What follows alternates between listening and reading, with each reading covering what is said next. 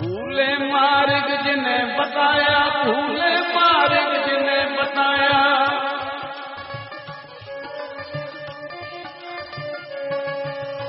ऐसा गुरवट भागी पाया ऐसा गुरवट अगे पैणो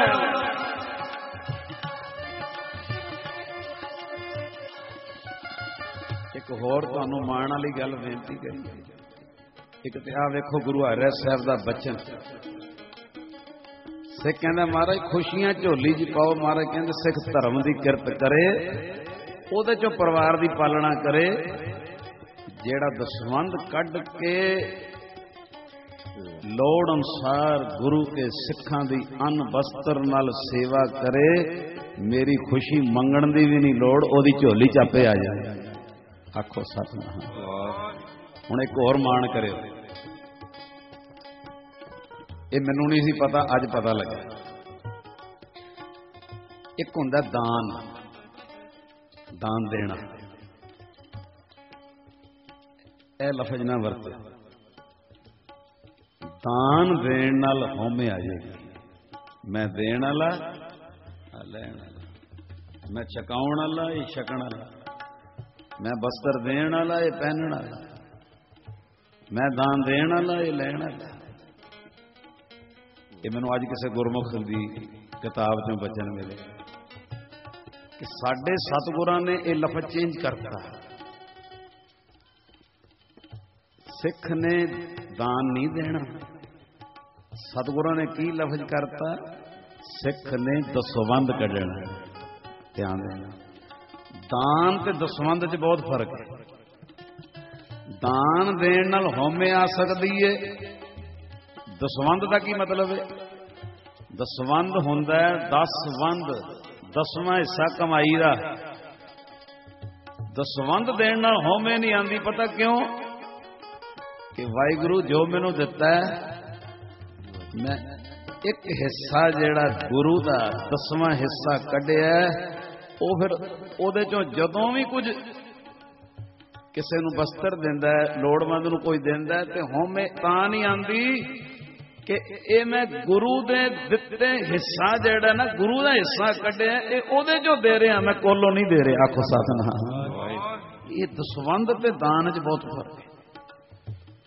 ਦਸਵੰਦ ਦੀ ਗੁਰੂ ਦਾ ਦਸਵਾਂ ਹਿੱਸਾ ਜਿਹੜਾ ਮੈਂ ਕੱਢਿਆ, ਜਦੋਂ ਫਿਰ ਬੰਦਾ ਦਿੰਦਾ, ਉਹ ਕਹਿੰਦਾ, ਮੈਂ ਤੇ ਗੁਰੂ ਦੇ ਉਹ ਦਸਵੇਂ ਹਿੱਸੇ ਕੱਢੇ ਚੋਂ ਦਿੱਤਾ ਮੈਂ ਨਹੀਂ ਦਿੱਤਾ ਆਖੋ ਸਤਨਾਮ ਇਸ਼ਾਰਾ।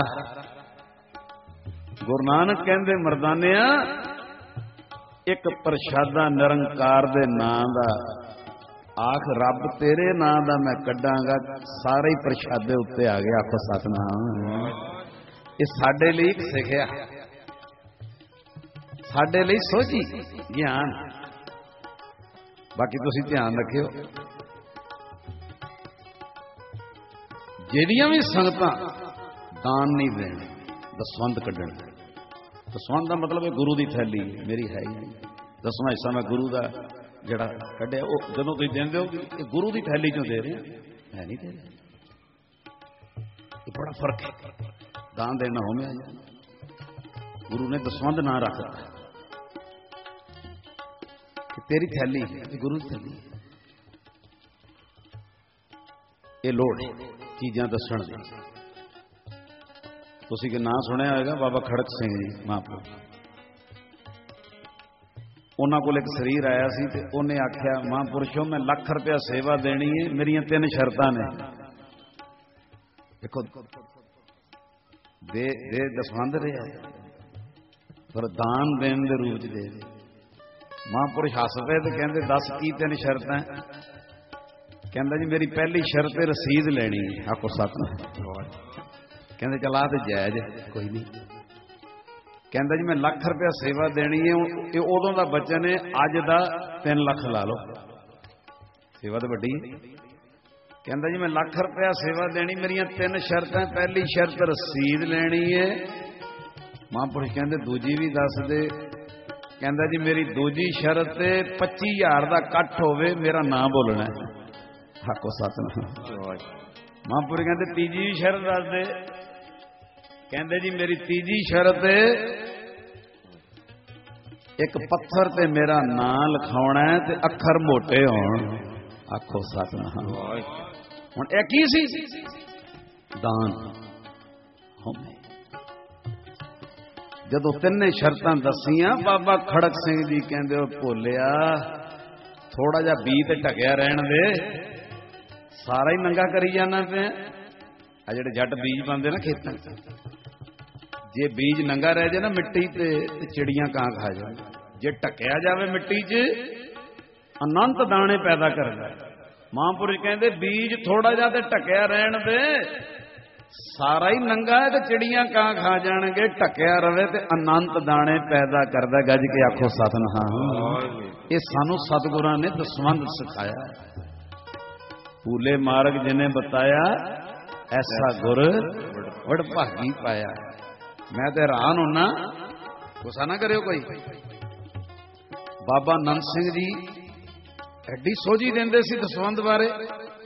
ਸੁਣ ਲਿਓ, ਕੰਮ ਆਣ ਵਾਲਾ ਵਜਨ ਜੀ ਕਹਿੰਦੇ ਸੀ, ਜਿੰਨੇ ਵੀ ਦਸਵੰਦ ਦੇਣਾ ਹੋਵੇ, ਕੋਸ਼ਿਸ਼ ਕਰੇ। ਜਾ ਕੇ ਦੇ, ਛਿਪਾ ਕੇ ਦੇ, ਰਜਾ ਕੇ ਦੇ। ਆਪੋ ਸਤਨਾਮ। ਮੈਨੂੰ ਪਹਿਲੇ ਨਹੀਂ ਸੀ ਸਮਝ ਲੱਗੀ। ਆ ਹੁਣ ਪਤਾ ਲੱਗਾ। ਮੈਨੂੰ ਫੀਲ ਨਾ ਕਰੇ। ਕਈ ਵਾਰੀ ਤੁਸੀਂ ਕਹਿੰਦੇ ਹੋ ਨਾ ਹਾਂਜੀ ਹਾਂਜੀ। ਤੁਸੀਂ 2100 ਰੁਪਏ ਸਾਡੇ ਘਰ ਆ ਕੇ ਲੈ ਜਾਣਾ ਆਕੋ ਸਤਨਾਮ ਮੈਂ 1100 ਦੇਣਾ, ਤੁਸੀਂ ਸਾਡੇ ਘਰ ਆ ਜਾਣਾ, ਲੈ ਜਾਣਾ। 5000 ਸੇਵਾ ਦੇਣੀ ਹੈ, ਮੁੰਡਾ ਭੇਜ ਦੇਣਾ, ਘਰ ਆ ਕੇ ਲੈ ਜਾਣਾ। ਆ ਬਾਬਾ ਜੀ ਦੀ ਰਮਜ ਮੈਂ ਹੁਣ ਖੁੱਲੀ। ਕਹਿੰਦੇ, ਕੋਸ਼ਿਸ਼ ਕਰ ਕੋਸ਼ਿਸ਼ ਕਰ, ਜਾ ਕੇ ਦੇ। ਇਹਦੀ ਮਨ ਨੀਵੇਂ ਦੀ ਛਿਪਾ ਕੇ ਦੇ, ਰਜਾ ਕੇ ਦੇ। ਤੇਰਾ ਦਿੱਤਾ ਸਿੱਧਾ ਗੁਰੂ ਨਾਨਕ ਦੀ ਦਰਗਾਹ 'ਚ ਜਮਾ ਹੋ ਜੇ। ਆਖੋ ਸਤਨਾਮ। ਤੋ ਇਹ ਗੁਰੂ ਨਾਨਕ ਦੀਆਂ ਵਿੱਚੋਂ ਲੀਲਾ ਹੁਣ ਸਮਾਪਤੀ ਕਰਨ ਲੱਗੇ ਆ। ਧਿਆਨ ਦੇਣਾ ਸਾਰੇ। ਗੁਰੂ ਨਾਨਕ ਸਾਹਿਬ ਕਹਿੰਦੇ, ਮਰਦਾਨਿਆਂ, ਅਰਦਾਸ ਕਰ, ਇੱਕ ਪ੍ਰਸ਼ਾਦਾ ਰੱਬ ਦੇ ਨਾਂ ਦਾ ਕੱਢਾਂਗਾ। ਉਹਨੇ ਕੀਤੀ, ਸਾਰੇ ਪ੍ਰਸ਼ਾਦੇ ਉੱਤੇ ਆ ਗਏ। ਸਾਧ ਸੰਗਤ, ਬੜੀ ਕਿਰਪਾ ਹੋ ਗਈ। ਰੋਟੀਆਂ ਤਰ ਕੇ ਉੱਤੇ ਆ ਗਈ ਔਰ ਸਾਧ ਸੰਗਤ ਜੀ,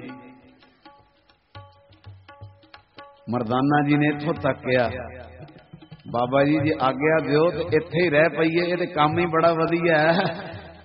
ਕਿ ਤਵਾ ਤੁਵਾ ਰੱਖਣ ਦੀ ਲੋੜ ਹੀ ਨਹੀਂ। ਇਹ ਤੇ ਕੰਮ ਹੀ ਬੜਾ ਵਧੀਆ ਹੈ। ਅੱਗ ਉੱਗ ਬਾਲਣ ਦੀ ਲੋੜ ਹੀ ਨਹੀਂ, ਇੱਥੇ ਹੀ ਰਹਿ ਪਈਏ।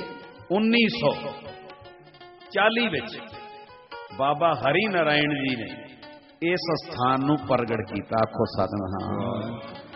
ਖੋਜ ਕੀਤੀ। ਪ੍ਰਗਟ ਕੀਤਾ। ਮੇਰਾ ਖਿਆਲ ਤੇ ਸਾਰੀ ਸੰਗਤ ਗਈ ਹੋਏਗੀ। ਅੱਜ ਵੀ ਆ ਗੁਰੂ ਨਾਨਕ ਹੈ। ਅੱਜ ਵੀ ਉਹ ਗੁਰੂ ਨਾਨਕ ਨੇ ਜਿਹੜਾ ਗਰਮ ਚਸ਼ਮਾ ਪ੍ਰਗਟ ਕੀਤਾ। ਅੱਜ ਵੀ ਸਾਧ ਸੰਗਤ ਜੀ ਗੁਰਦੁਆਰੇ ਵਿੱਚ ਲੱਖਾਂ ਦੇ ਹਿਸਾਬ ਨਾਲ ਸੰਗਤ ਆਂਦੀ ਏ। ਉਹ ਸੰਗਤਾਂ ਦਾ ਲੰਗਰ ਜਿਹੜਾ ਉਹ ਗਰਮ ਚਸ਼ਮੇ 'ਚ ਬਣਦਾ ਹੈ। ਔਰ ਉਹ ਚਸ਼ਮਾ ਉਥੇ ਬੋਰਡ ਤੇ ਵੀ ਲਿਖਿਆ ਤੇ ਇਤਿਹਾਸਕਾਰਾਂ ਨੇ ਵੀ ਲਿਖਿਆ ਉਹ ਗਰਮ ਚਸ਼ਮੇ ਦਾ ਸਦਕਾ ਕਈਆਂ ਦੀਆਂ ਸਾਧ ਸੰਗਤ ਬਿਮਾਰੀਆਂ ਵੀ ਰਾਜੀ ਹੁੰਦੀਆਂ ਆਖੋ ਸਤਨਾਮ। ਉਹ ਗਰਮ ਚਸ਼ਮੇ ਦਾ ਸਦਕਾ ਦਾਸ ਆ ਵੇਖ ਕੇ ਆਇਆ ਐ ਜਿਹੜੀ ਚਾਵਲਾਂ ਦੀ ਪੰਡ ਤੇ ਬੰਨ ਕੇ ਰੱਸੀ ਨਾਲ ਵਿੱਚ ਪਾਈ ਹੁੰਦੀ ਸੀ। ਉਹ ਚਸ਼ਮੇ ਨਾਲ ਕਿੰਨੇ ਚਾਵਲ, ਦਾਲਾਂ, ਅੱਜ ਵੀ ਤੇ ਬਾਜ ਮਸਾਲੇ ਪਾ ਲੈਂਦੇ ਨੇ ਇਸ ਤਰ੍ਹਾਂ ਤਿਆਰ ਜਿਹੜੀਆਂ ਅਸੀਂ ਘਰ ਅੱਗ ਤੋਂ ਬਾਲਦੇ ਆ ਉੱਥੇ ਪਾਣੀ ਅੱਜ ਵੀ। ਤੁਸੀਂ ਨਹੀਂ ਕਹੋਗੇ? ਜਦੋਂ ਸੰਗਤਾਂ ਦਰਸ਼ਨ ਕਰਨ ਜਾਂਦੀਆਂ ਗੁਰੂ ਨਾਨਕ, ਬਸ ਤੂੰ ਆ ਇੱਕ ਮਰਦਾਨੇ ਦੀ ਖਾਤਰ ਬਸ ਚਟਾਨ ਪਰੇ ਕਰਕੇ ਗਰਮ ਚਸ਼ਮਾ ਤੇ ਜਦੋਂ ਅਸੀਂ ਦਰਸ਼ਨ ਕਰਨ ਜਾਂਦੇ ਆ ਤੇ ਉਹ ਚਸ਼ਮਾ ਵੀ ਕਹਿੰਦਾ ਹੋਏਗਾ, ਗੁਰੂ ਨਾਨਕ, ਤੇਰੇ ਸਦਕਾ ਤੇਰੇ ਸਦਕਾ ਮੈਨੂੰ ਵੀ ਸੰਗਤਾਂ ਦਾ ਸਤਿਕਾਰ ਮਿਲ ਰਿਹਾ ਤੇਰੇ ਸਦਕਾ ਇੱਥੇ ਵੀ ਕੀਰਤਨ ਹੋ ਰਹੇ ਮੈਨੂੰ ਵੀ ਸਤਿਕਾਰ ਮਿਲ ਰਿਹਾ ਜੈ ਜੈਕਾਰ ਕਰੇ ਸਾਧ ਸੰਗਤ ਜੀ, ਇਹ 17ਵਾਂ ਭਾਗ, ਜਲ ਚਸ਼ਮੇ ਤੇ ਨਦੀਆਂ ਵੀ ਗੁਰੂ ਨਾਨਕ ਨੂੰ ਗਾ ਰਹੀਆਂ ਪੜੋ ਸਾਰੇ ਜੀ ਫਿਰ ਸਮਾਪਤੀ ਹੈ ਜੀ। ਸਾਰੇ ਕਿਰਪਾ ਕਰਿਓ ਜੀ ਜੈ। ਜੈ ਜੈਕਾਰ।